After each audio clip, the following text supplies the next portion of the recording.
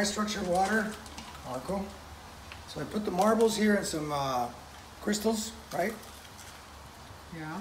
And uh, I put the straw there so it could get these marbles stuck in there, they don't go anywhere. And then I played with it with these mason jars and we tasted the water, it was restructured, it tasted amazing. So now we're gonna do, we're gonna put this in here and it happens to fit right in precisely.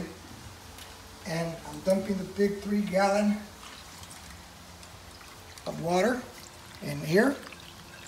And of course, all the water is wrapping around the marbles, right? Creating those molecules to become rounded again and oxygenating the water. And then we're gonna add, add a, uh, you know, little, little bit of what, what about one teaspoon, is that, of, uh, less than a teaspoon of, uh, Himalayan Himalayan. salt to add the mineral, the minerals to mineralize it again. And voila, we have our little vortex. So this is the vortex. Plus I get a farmer's workout.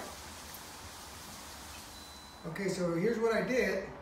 After I restructured the water, I went ahead and put some Himalayan salt. You have to use a wood stick like this one, and you turn it counterclockwise one time, and then you go clockwise. Okay, that helps that vortex to continue when you add the minerals, which is this is the minerals that are missing in water when you do reverse osmosis. So after reverse osmosis water, uh, you want to put a little bit, you know, a hint of uh, salt in there. We used a teaspoon, right? That? So then, what I did first before putting it in here in this container, I actually dumped it in two of these back and forth, three times, three times, and then I put in here the fourth time, of course, with once again the these uh, I have some marbles in here, and then I have some uh, crystals in here. Okay, then I mix them up in here. I just put this straw here to to, to clog it in there and make sure the water goes around the rocks or the, I mean the marbles around and through to, to restructure the molecules. That's what I did.